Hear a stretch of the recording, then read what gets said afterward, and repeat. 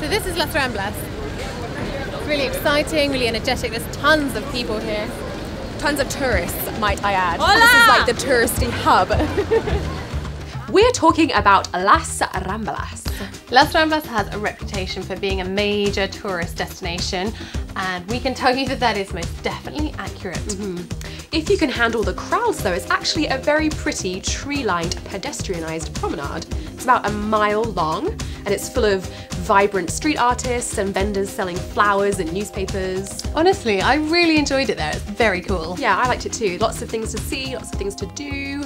There's this one part that has a great big mosaic on the floor, which was created by Spanish artist Joan Miro, hmm. or Joan Miro. I love that you just butchered that. So the challenge is to try and find his signature, and it's on one of the teeny tiny tiles. It took us a bit of a while. Voila. right down here. Nice work, Miro. We also got our caricatures done. I looked like a horse, big old teeth.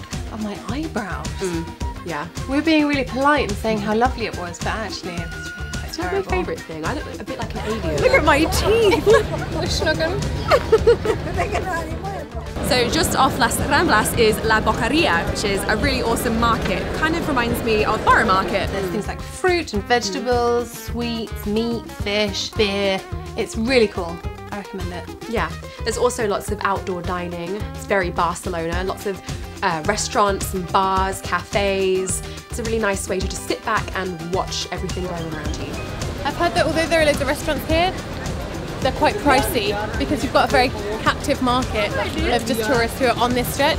Um, so you could end up paying up to 10 quid for a beer. Wowza. All of that said, you can't come to Barcelona without going to Las Ramblas. It's crazy fun, vibrant, busy, exciting, um, and it's definitely worth a visit. Two thumbs up. Okay, thank you for watching, and if you want to find out more about Barcelona, check out our Hidden Gems in Barcelona video. Yep, and don't forget to subscribe. Bye!